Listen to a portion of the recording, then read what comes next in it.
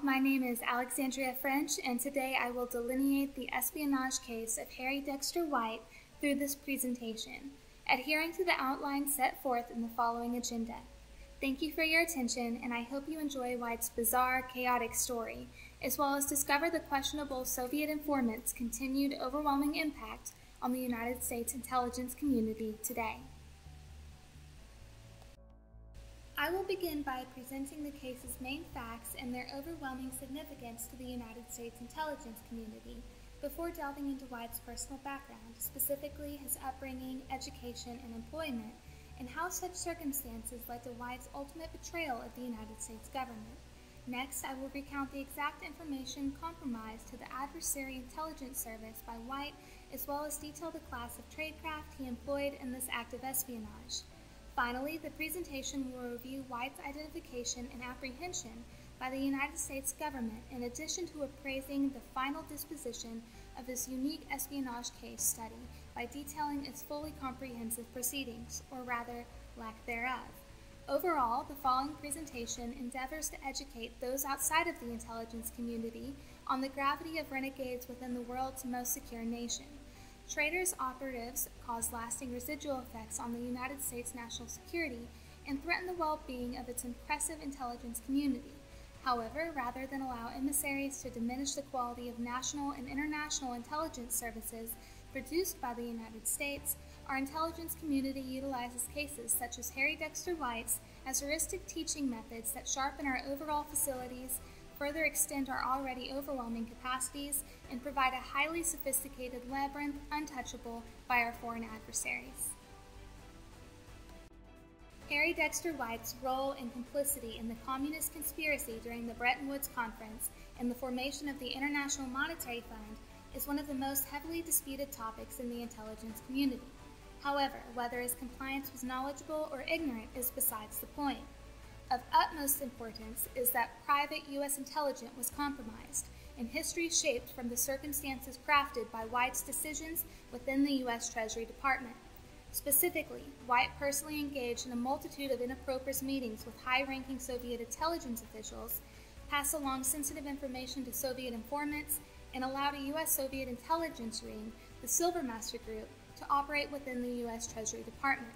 White was known for his commitment to a symbiotic world order and believed that the U.S. government could help achieve this with anti fascist and pro Soviet policies.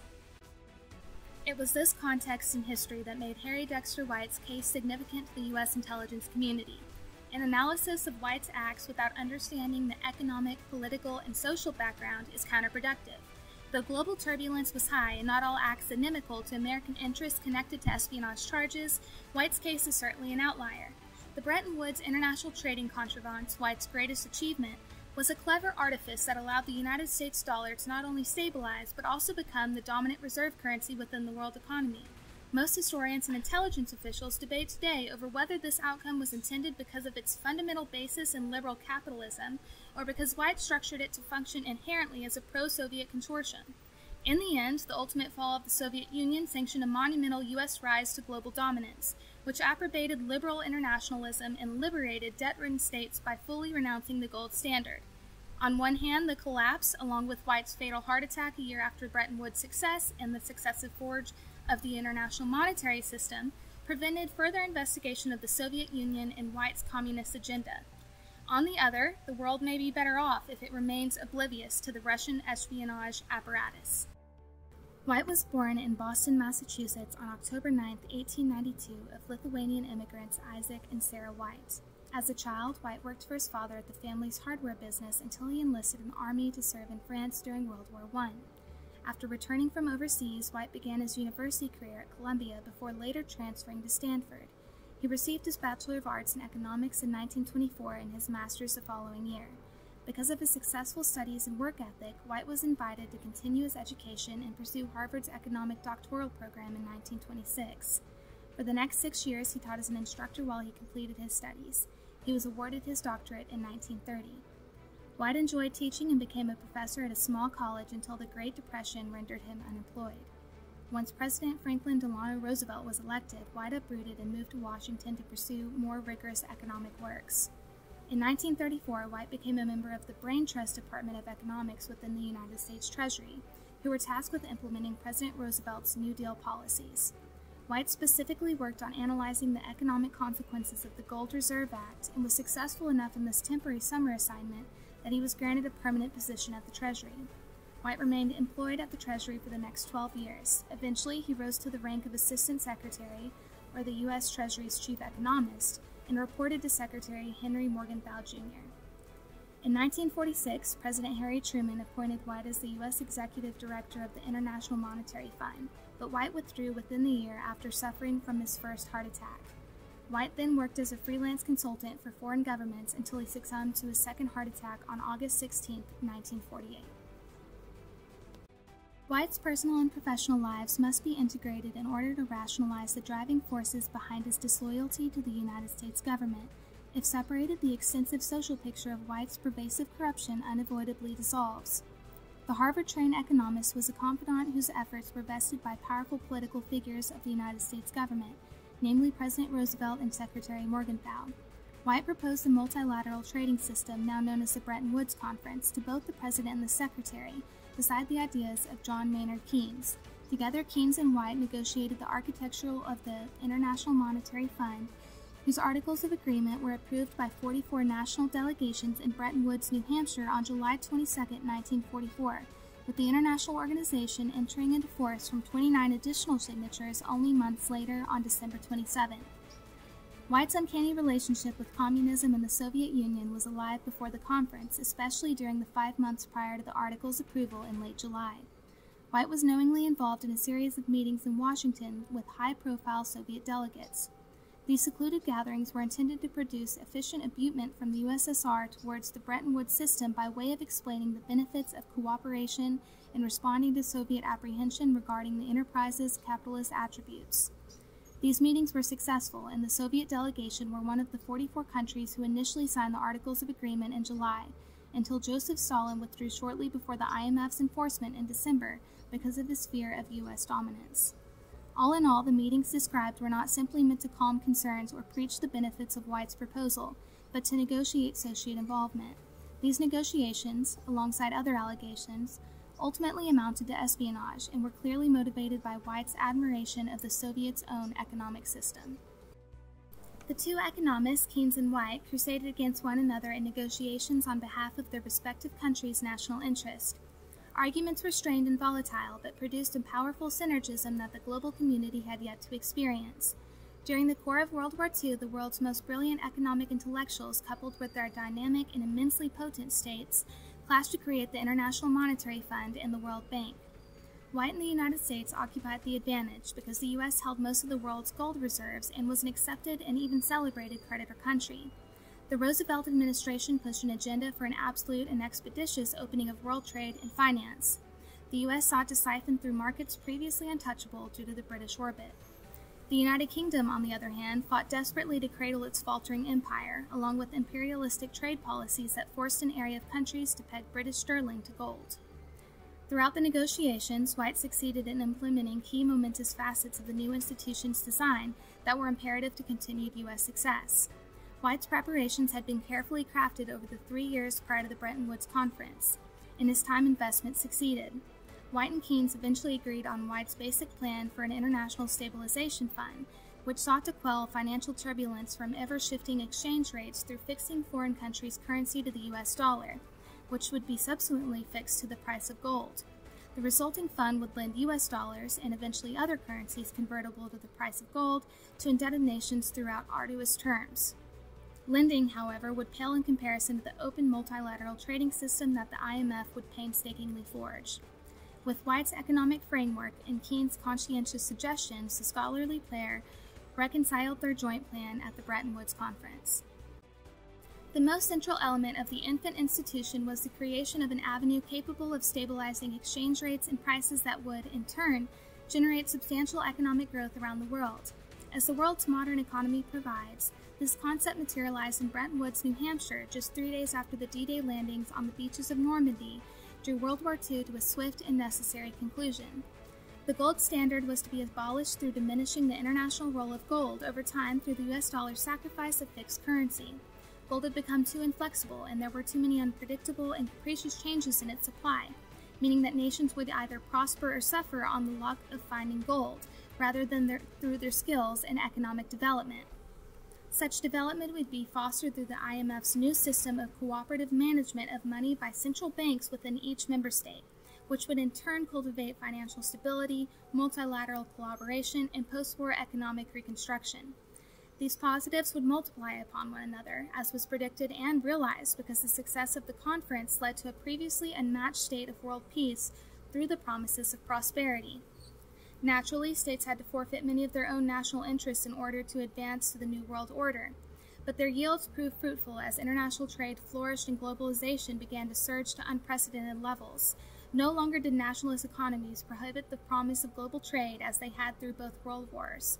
Today, the International Monetary Fund is the very centerpiece of the post war international financial system, and it continues to progress today. Understanding White's influence on building today's advanced society from the broken fragments of the global community after two world wars should not be extenuated. However, White's character has spoiled his reputation, which has been thoroughly oppugned and contradicted. The Bretton Woods system itself has been somewhat tarnished and is often characterized as pro Soviet despite its fundamentally capitalist nature. The U.S. government and its intelligence community is still unsure of the amount of compromised intelligence White ceded to the Soviet Union. What we do know is that White's reverence for Soviet assiduity was based in a lost faith in capitalism during his own personal struggles throughout the Great Depression, his belief in communism's intrinsic morality, and his ability to turn a blind eye and deaf ear to mass Soviet atrocities. As aforementioned, White's complicity, along with his incongruous negotiations and meetings with the most prominent members of Soviet society, was enough to charge him with treason. More incriminating, however, was White's role in what has become known as Operation Snow snow meaning white.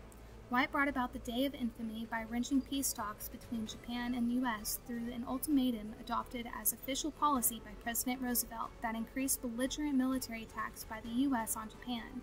The Soviet Union during this time were anxious that Japan would attack the Kremlin, so they employed their spy networks in order to ensure Japan would strike the U.S. rather than the USSR.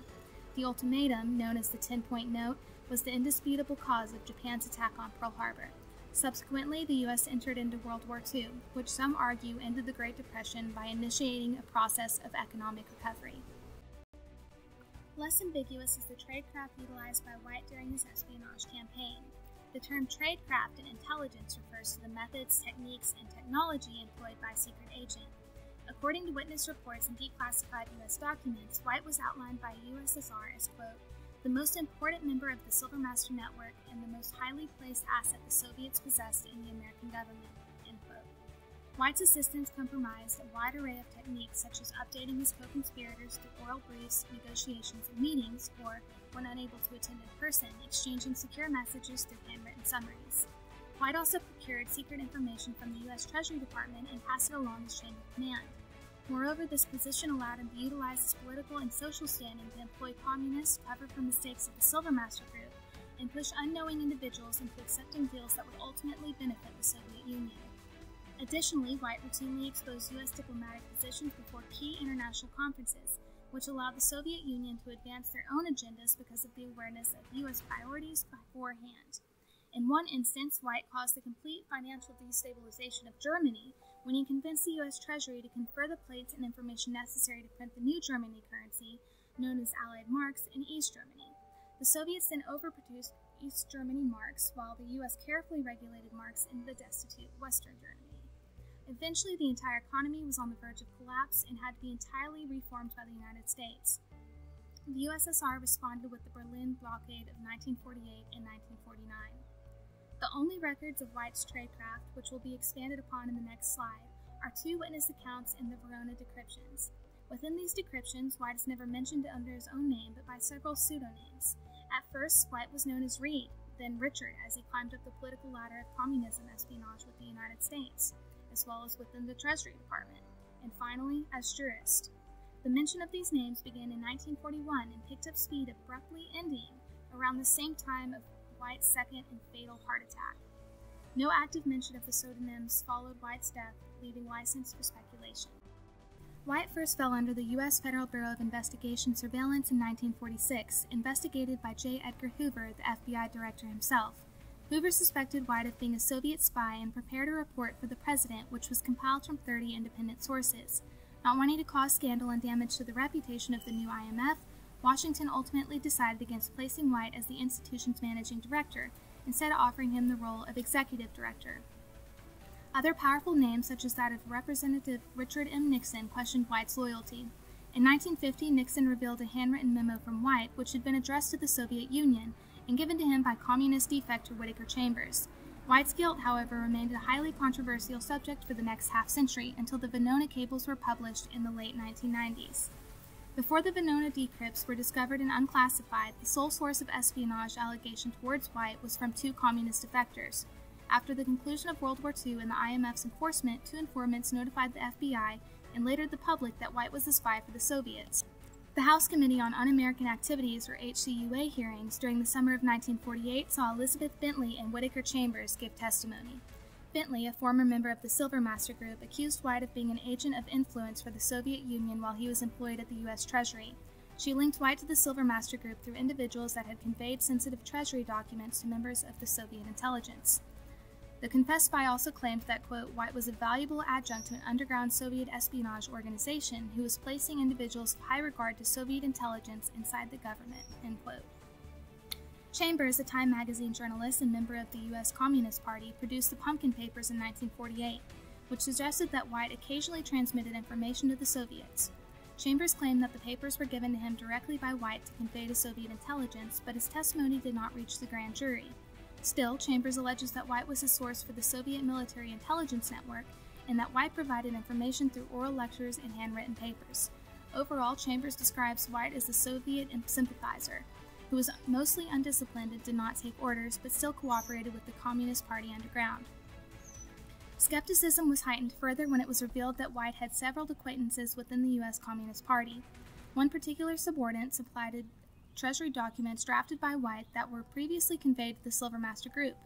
White's association with and complicity towards the large cell of American spies who existed within the U.S. Treasury immediately renders him guilty by association. Additionally, more than two dozen KGB documents spanning 1941 to 1948 spell out his assistance to Soviet intelligence.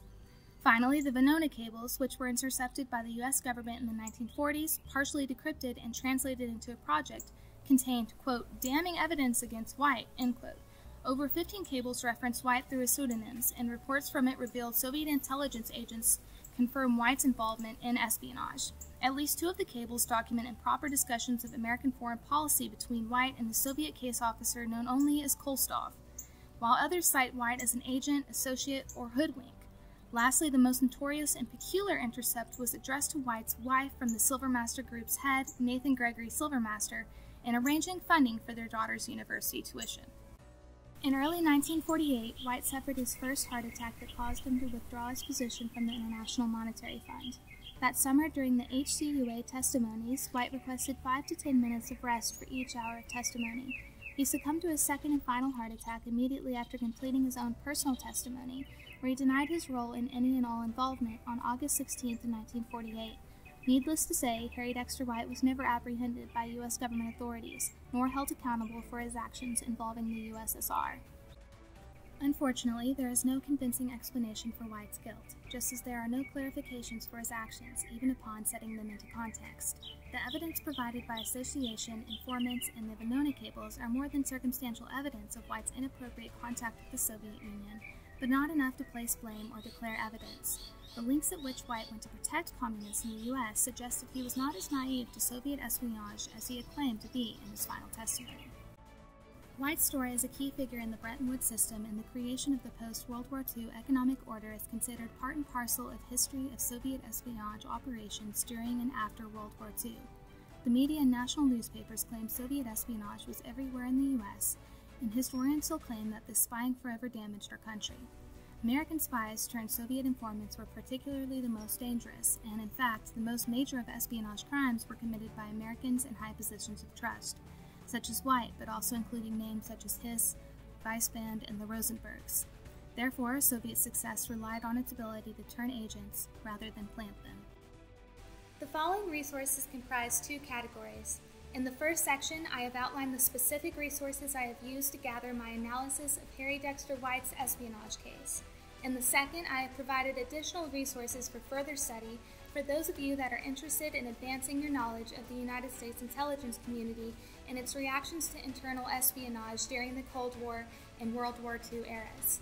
Please feel free to take advantage of these resources, as well as provide your own in the comment section below. Thank you for your attention during this presentation. I hope that you have found it has provided sufficient detail into the importance of espionage cases, such as White's, in improving the resilience of the U.S. intelligence community. As stated by the United States Central Intelligence Agency, history is complex, and when history goes badly, it is not ipso facto the result of sabotage or betrayal. The problem with this approach, however, is that sometimes it runs up against contravening evidence.